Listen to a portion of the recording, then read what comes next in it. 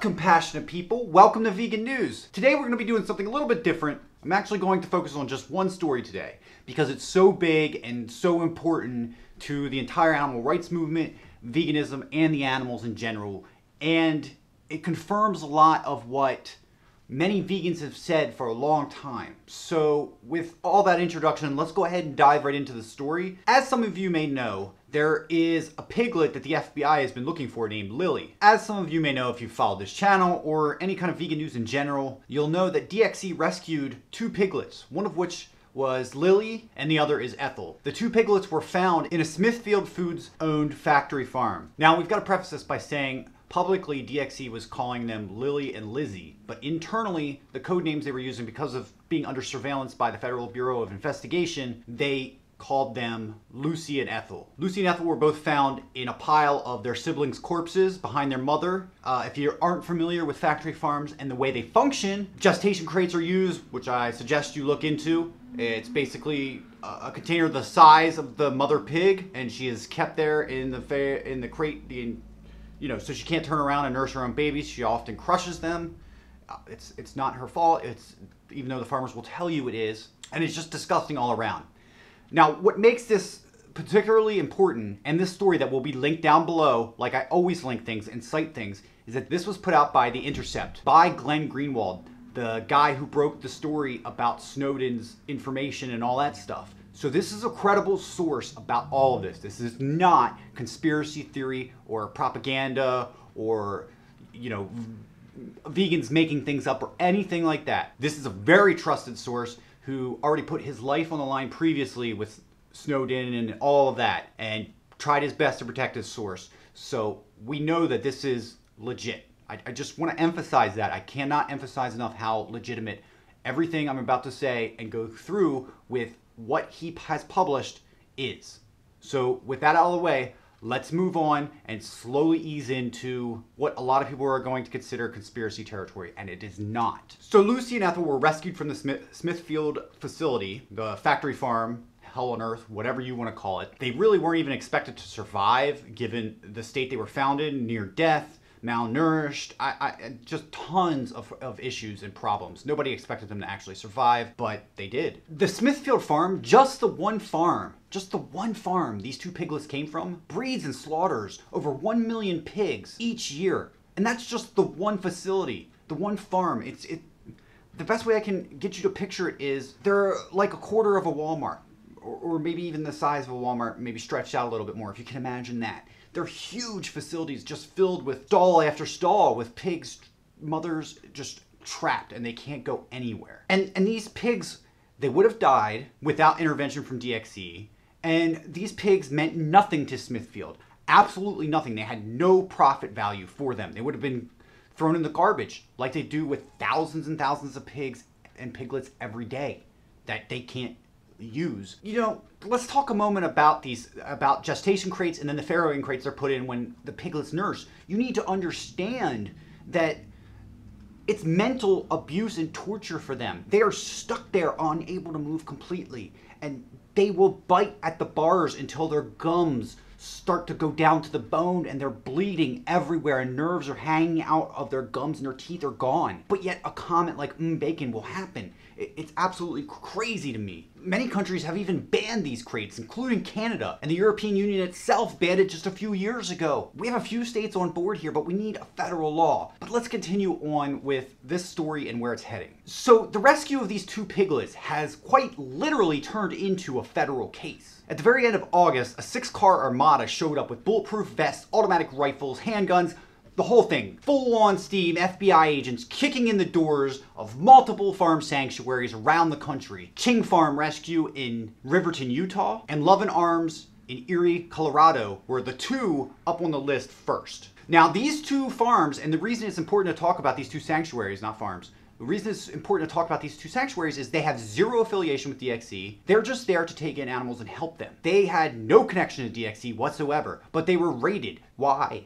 It's to create fear. But let's continue moving on and talk about other things that happened once they were at the farm. When they were at the farm, they had a warrant. That warrant allowed them to take DNA, hair, and ear clippings. Now, the ear clippings allowed them to take an inch of flesh off of the pig's ears. And the warrant was for any pig that was pink in color, had dock tails because they chopped their tails off in factory farming, or had a hole punched through the right ear. The FBI then used a veterinarian to pressurize the piglets' snouts and pin them to the ground in pain and fear while they lopped off an inch from each of their goddamn ears. The piglets' pain was so loud and so horrifying.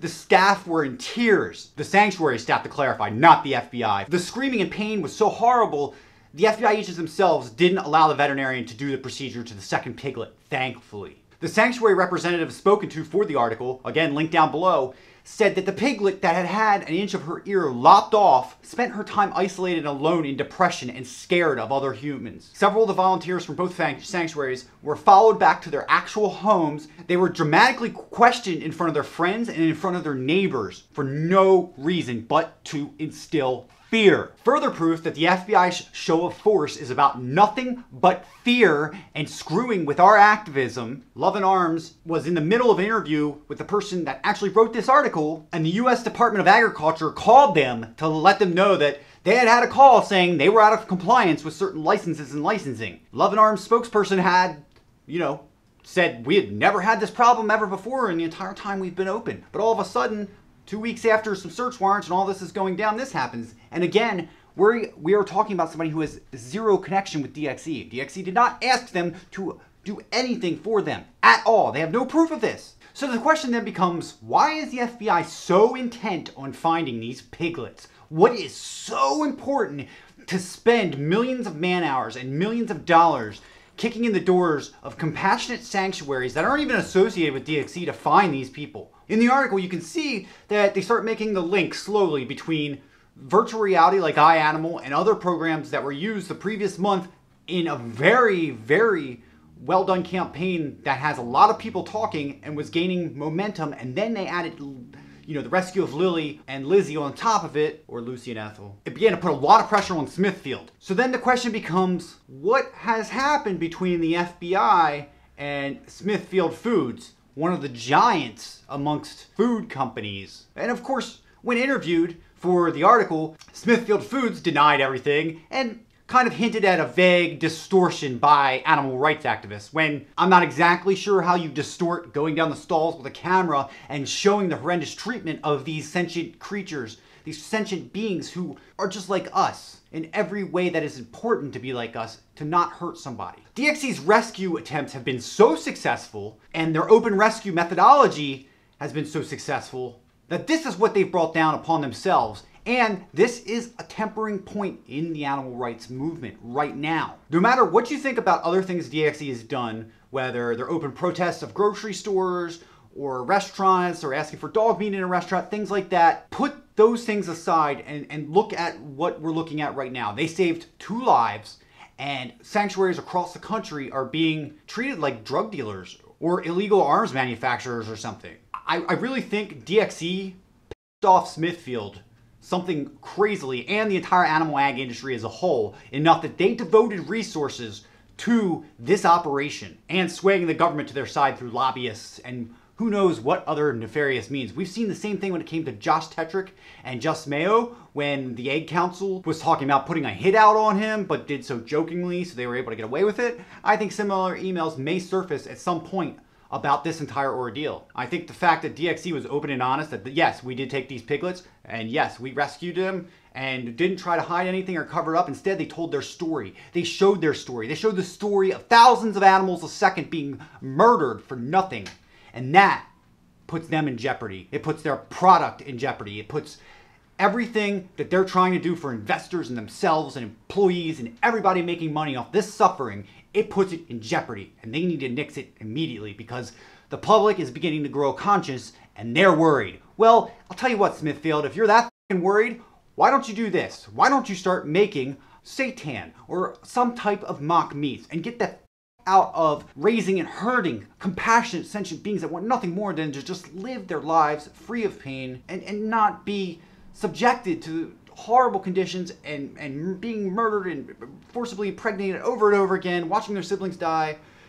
The list goes on and on. We all know this. And I, am going to read a little excerpt from the article, but I'm not going to put it up on screen like I normally do. But I just want to read this real quick and then we'll go over it because I think this paragraph is really important and hits at the heart of all of this. And again, please read this article and have a conversation about it. The Justice Department's grave attention to a case of two missing piglets reflects how vigilantly the US government uses extreme measures to protect the agricultural industry, not from unjust economic loss, violent crime, or theft, but from political embarrassment and accurate reporting the damages the industry's reputation is receiving. A sweeping framework of draconian laws designed to shield the industry from criticism and deter and punish its critics has been enacted across the country. Now they're talking about ag gag laws there.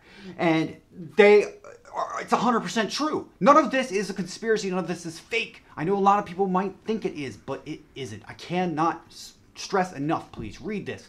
Please read this.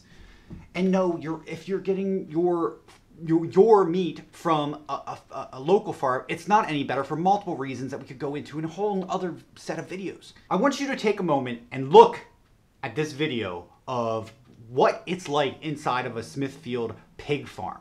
Just look for one second.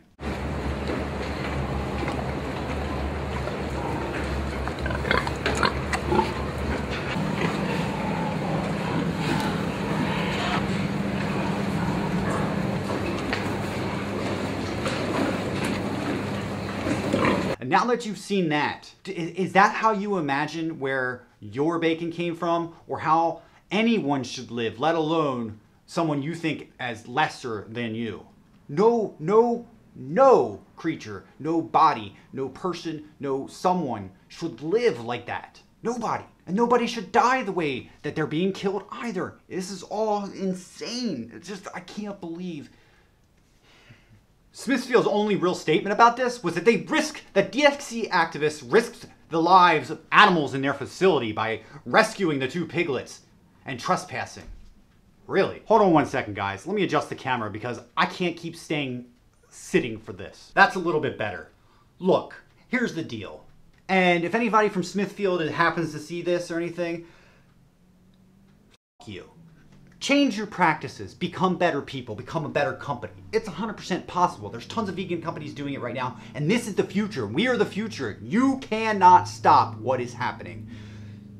People are waking up to the inhumanity and the, the awful cruelty of turning living beings into machines.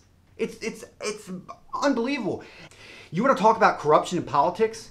If you follow this last campaign, it came up a lot. Our oligarchy came up a lot. The plutocracy came up a lot. And there is not, you can't get more proof than FBI agents putting on bulletproof vests, uh, full armor and machine guns, and rolling into animal sanctuaries and, and kicking in doors with warrants and slicing off pigs' ears. That's in, that's purely insane. The the police state is so here it's even on animals. Like what the? Finding these piglets is about nothing but a show of strength to them. It is about nothing but showing their power over us and our choices, not just animals, but over your choices as a consumer and your choices as a person in this country. So is that who makes the decisions for you? Is it Smithfield? Does Smithfield own the FBI? Does Smithfield own our government? Do animal agriculture companies and food companies own our politicians just like so many other companies do? Is this the future you all want? Is this the future we all want? I don't want it. I don't want any of this. A democracy is, is supposed to be about us and what we want, not what some giant company wants. If you're not vegan already, you need to look into it because cruelty is ridiculous. There's no reason for it in this day and age when you have plenty of choices available that taste exactly the same. And if you don't believe that, you need to go out and try the products because you have not tried them if you don't believe that. And if some things aren't exactly the same for you, who cares? Give it up. It's not all about you. Life isn't just about you. It's about everyone around you more than any time in history it's about everyone around you, and that includes non-human animals. So grow the up, lace up those shoes, and get ready to run the race with us. Because in the next 15 to 20 years, this is it. We will be vegan, all of us. At the very least, everybody in the population will be plant-based. You know why? Because there isn't enough water. There won't be enough water. Wars are going to be fought over water instead of oil. That's it, guys. That's everything. And I'm off about all of this. It's disgusting and horrible, and I needed a whole show today just to rant about it. So if you don't like that, I'm sorry. Uh, we'll return to a regularly regularly scheduled broadcast tomorrow. But for today, I felt it was really important to talk about this. And again, please read the article. Please donate to DXE to help them through this. If you disagree with some of their other practices, I do. In my opinion, I disagree with how they take on grocery stores and make us, you know, look bad and don't get across the information of veganism. I believe there's a different way to do it, but others other vegans believe in a different way of doing it, and that's fine. I will support the things that I feel are right and you do the same. And together we can end this nonsense. And that is all this is all about. This isn't about different factions of veganism or anything like that. all right, guys. Love you so much. Thank you for watching and listening to me rant. Thank you for reading the article. I cannot stress enough to please read and share that article. I think it's the most important thing that has happened in the animal rights movement in a long time. We are talking about a very mainstream journalist blowing the lid wide open on something as big as what happened with Edward Snowden when he revealed that stuff. So if you can spread it and you can, if you can help be a part of this, you really should be in any way, shape, or form you can. Thank you guys so much. I'll see you tomorrow. Love you guys. See you later.